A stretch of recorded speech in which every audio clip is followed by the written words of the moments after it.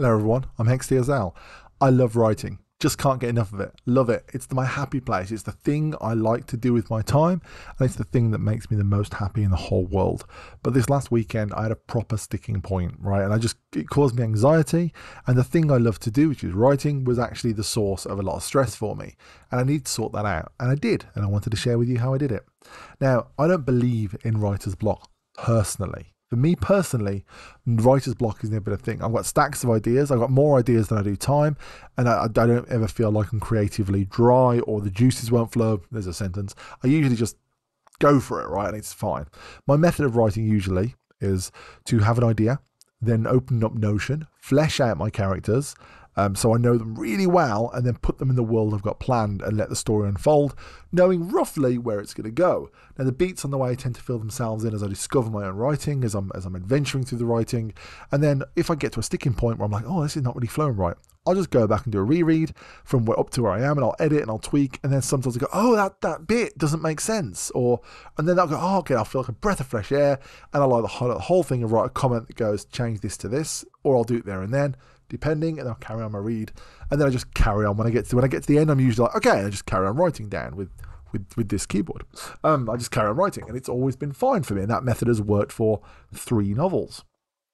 Um, okay, two novels. The first novel I was kind of learning how I want to write, and it yeah, okay, but like it's worked for me. Like it, it literally, I've written and I've enjoyed, and it's been pleasurable. Uh, so when I started writing, when I've been writing Nancy and Holmes, my current detective novel, when I got to the sticking point, I did the same thing again. And I just couldn't work out what was wrong. It was causing me serious, serious anxiety. So I loaded up Dabble Writer. I started a trial of Dabble Writer. Um, and I started using their plot board, and it's great, but I'm not paying twenty pounds a month for their bloody plot board. That's mad. It's it's insane money. Dabble Writer, it's so expensive. Um, paying for Dabble Writer, which is a great service, but when I, you know, I feel like it's not really like while it's useful, it's not really worth the money. So I didn't want to get too far into it. And I've got a friend that talks a lot about using using um, Excel to outline their writing and make writing chunks and stuff. So I was like, this is the way to do it. So I made this thing. And again, this isn't revolutionary. This isn't a new idea, but it's kind of new to me. I made this board here, right? This is me plot board. This is this is basically a way to document plot in a way that's visual in order for you to see where your problem is, which has really helped me this weekend caused me turn my anxiety into a breath of fresh air actually. Now because i'm a discovery writer i don't want to plan ahead. I kind of need to discover my book as i'm writing because that's how i get the natural dialogue i go for the tone and the pace that matches the excitement of the writing and all those things. Every time i try and plan just absolutely ruins it for me. Because if i plan it it just i feel like it's falling to bits around me right? Um so I made this spreadsheet. So down the left here is the first column here is the chapter and scene. Now, most writers, whether or not they delineate their scenes, um, whether or not they actually make them visually delineated or not, they will in their head be writing in scenes. Now, I love. I love an ornament in a book. I love a little ornament to break up a chapter. Some people just use a line break. Some people don't actually. They just write and they just say you can just you know the scenes change, but you don't really have the visual telegraph.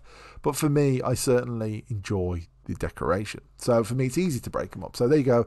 I shoot for three scenes per chapter. Sometimes it's four, sometimes it's two, depending on what's happening. I don't believe writing systems should be adhered to 100%, and I certainly don't believe you should have you should go with like three every single time because it's going to be boring. You to break it up a little bit so people don't know what's coming, right? Um, so anyway, this is chapter one, scene one, chapter one, scene two, chapter one, scene three. The title of the chapter. Now, in the case of Nancy and Holmes, the first chapter really is called Being Alone. And the purpose of this chapter is to introduce Nancy, establish her life, her friends, and challenges. And breaking that down to the three scenes there, I've got scene that's setting the tone. So eh, scene and tone setting, yeah. So just like how what you know what what's where are we? Why are we? What sort of what sort of interactions are going to have? Is it comedy? Is it horror? Is it grim? Is it joyful? Let's set that tone as soon as we can. And that's always done with a strong opening line. Um, so in this particular scene we had nancy uh, working in working in the bar. She was working the bar. Okay, that's what we had. That's Nancy at the top. This, this is Nancy's column. All Nancy's actions happen in this column. Her friend Marina, Holmes, who is the detective character, and then some other people that may come into it later. And then in the next, and then in that during that scene, her friend Marina uh, notices she's she's she's not great. She notices she's not great. Uh, and then this character, these characters aren't in it, so these characters here can just be grayed out because we're not using them for this scene. So we'll just grey them out like that. They're done. We're not using them.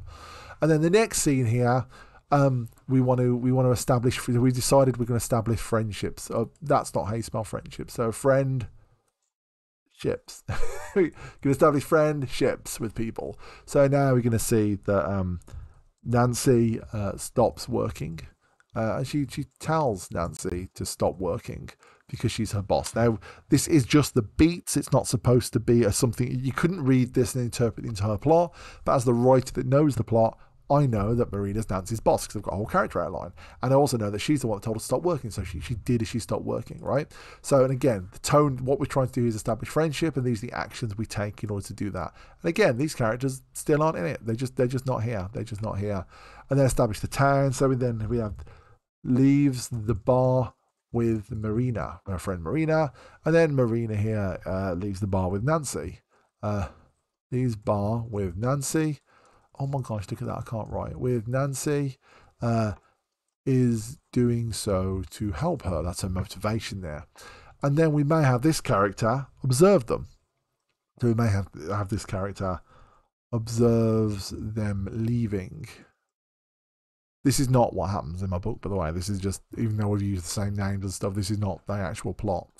This is not. There's no spoilers here. This is just me shit talking for YouTube, to be honest. Um, so then we can we can see then we're, we're screwing things away. Um, and then we're just going to go on to the next chapter, which might be called Bees. It's not, but it might be called Bees, right?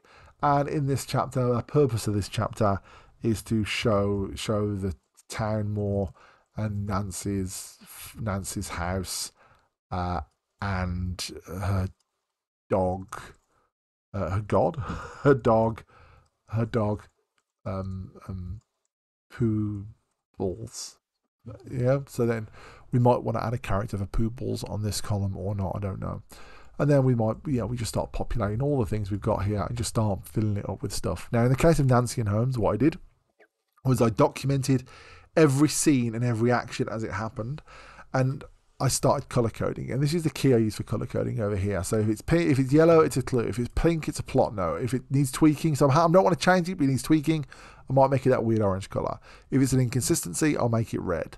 And then if it's something happens off camera, like a character knows something or something happens to a character, you want to keep track of that, just put it in square parentheses, just put it in square brackets. It's, it's fine. Just square bracket it off and it's fine.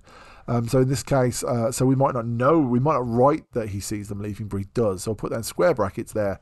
So we know it's not written there that he sees them leaving, but later on we find out that he saw them leaving. That might be what we do with that. Or we might go, well, this is a bit of a this is a bit of a bit of a bit of a plot hole there, so we'll make it red, and that just denotes that we're going to do it. Or we might go, okay, so there's, there's, this is a clue for something that happens in the mystery, and we'll make it we'll make it. Oh, this this is also a clue. And then you can see that the color codes start working. In the case of Nancy and Holmes, when I zoomed out of here, when I started zooming out of here, I start, and again, I got seven chapters in. I was like, oh, all the clues are clustered. That's what's wrong with it. And I was like, oh, there's a main character that doesn't come into it for five chapters. That and, and again, I saw that because that particular character was grayed out uh, right the way down to here, where there was like, hi, for out of nowhere, like they'd always been there. And I was like, oh, that's not right. That that doesn't really work. Um, that's the shit. Um, and that allowed me to visually see it by zooming out. I can go, okay, so I need to move my clues around, pepper them around a bit more. I need to not, this character needs to be mentioned up here, even though they don't need to come into it. We need to acknowledge their existence up here before we move on. Um, and that allowed me to then look at the book and go, okay, this actually now I understand how this is flowing. So as I've been carrying on writing, I've been documenting my character's actions in here to make sure I don't face that cluster again. If I look at it and go, oh shit, that's a problem, I can then just change it. And also, I, I do, I do, I do like to be really like careful about my uh, about my borders because I find that when you zoom out, especially, then borders start looking nicer and nicer and they can be more and more important. So, you know, I just like to keep my borders nice. And you might be wondering, what's this dump column here? Say, for instance, I want this to happen to this character over here. If I drop it there, it's just going to be like, no. It's all populated. I'll just move this to the dump column. I'll move this where I want it. And then I will move this back to the other column. And the dump column really is just there to just just there to, to be a place to dump crap until I move it. If I want another column, I can just I can just I can either so if I want if I want this column moved, I can just I can just like cut this column, and I can just like paste it over paste it over here. So so so just oh I didn't I don't have a cut there, do I? So cut this one here, and then I want to paste it in there, insert cut cells, and I'll just nudge it up. There you go, and that's just nudged up, swap the order around. And if I want more, if I want an infinite number of characters, I can keep going. That dumb column can be moved around just the same as everything else. I can just keep going as many as many characters as you want forever. Also, if my book gets longer and longer, I can just keep going down, adding columns down here as well. This is infinitely scalable in every direction. But also, part of the joy of this is if I look at this and I go, wow, look at this massive amount of columns. How many characters do I have? Visually it's telegraphing that to me. Or if I go, wow, this is so long and there's so few characters doing anything, that's also something else it can visually telegraph using this method. I didn't, I don't think, I didn't, I don't think I invented this method. Um, this is not. I made the template. I'm not sure. I'm, I'm, sure other people are doing the same thing with their books though. Um, so I don't want to take any credit for anything. But this really helped me get over a sticking point. It really helped me understand the characters, and it really helped me understand the flow of my own work and correct some pacing issues. Now, if you're someone who plots ahead of time, this is kind of useless to you because you you've got all in your plot and you're just following your beats down.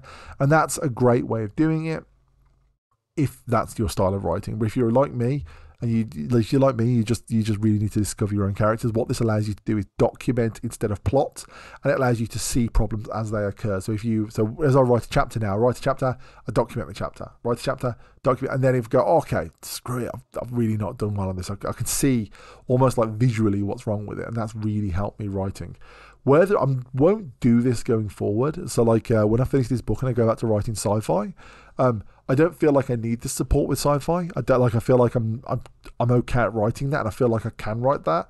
I'm not sure I'll carry on doing this.